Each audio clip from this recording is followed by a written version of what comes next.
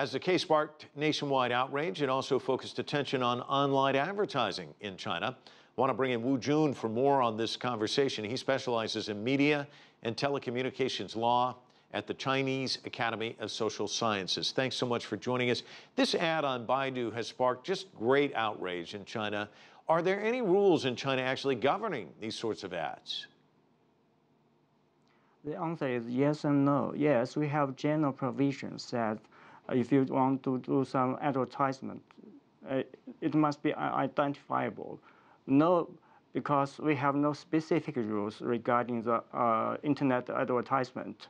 Just last year, the, um, uh, the advertising regulator has circulated uh, draft rules regarding the uh, internet advertising or the, also the promoted links, such as Baidu did in the Wei Zexi case.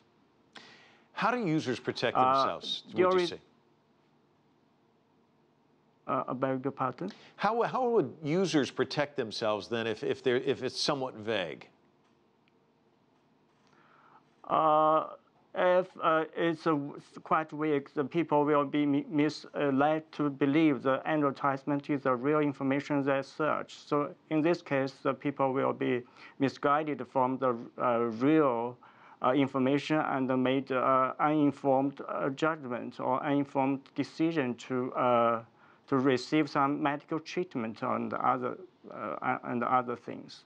So it's quite an issue. Now the government is, is uh, considering whether to order Baidu to divide the information the user wants and the information uh, Baidu uh, inserted on the slot, which is just for promotion, not for real information. What do you expect the impact will be on Baidu? Uh, shares are already dropping. I mean, how are they going to react from this? How, how is this going to damage them, do you think?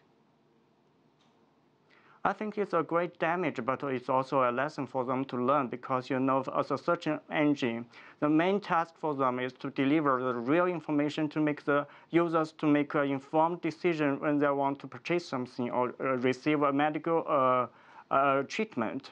In this case, I think this is also an opportunity for them to adjust their business model and to make a clear division what is the links promoted and what the links really wanted by the users.